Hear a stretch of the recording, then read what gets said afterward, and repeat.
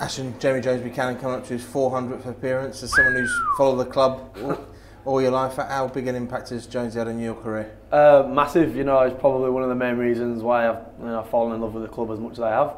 Um, you know, I've got real fond memories of playing at Stanningley at such a young age and um, I've got a photo um, shaking his hand, getting my uh, NDA medal and a, a trophy and you know that, that photo stays with me, it's kind of a motivation as well to be able to achieve what he's achieved. He's come up to his 400 appearance which is absolutely fantastic.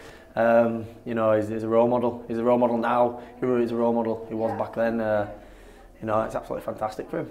Like yourself, he's someone who's passionate about his hometown club. Uh, is, is that rub off when you're when you're in the dressing room with him? Yeah, you know, uh, you know, he, can speak, he can talk, but sometimes it's it's the it's the silence and just watching his his mannerisms and the way he goes about things. You know, he don't want praise. Um, you know, he don't he don't want to be rewarded. He just just wants to win. He's a winner. He really is. If, if that's one word that I could associate with Jones, it's a winner.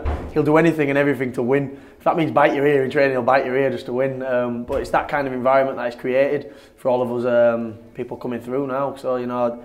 I've got, I've got nothing but respect for him. Um, and to reach 400 appearances again, it's an absolutely monumentous um, you know, trait, landmark.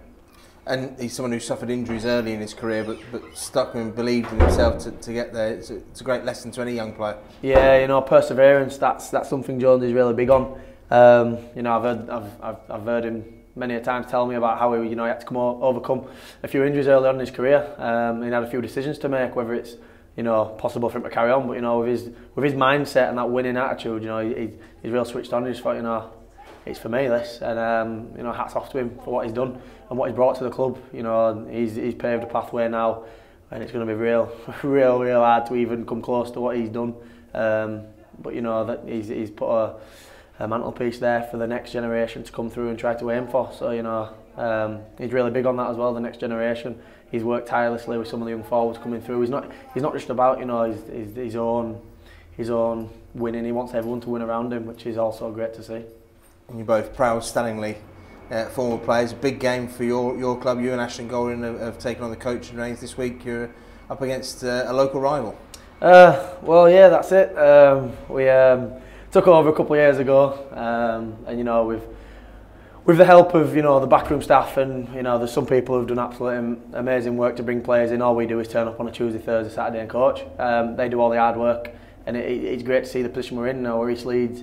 Uh, free sport this weekend. Tune in. It's going to be great. Another one of Jones's ventures that uh, on Rugby AM. Um, you know, playing East Leeds, it's going to be a feisty game, and let's let's see if we can come out on top. But first and foremost, um, let's mark Jones's 400 for the win at um, away at Hull. and it's been a great start to the season with Stanley as well.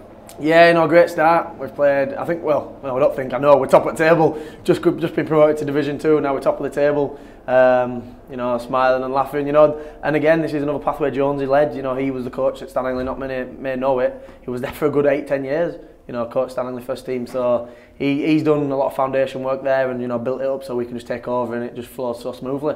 Um, so, you know, it's great. Looking forward to it and let's see if we get promoted again.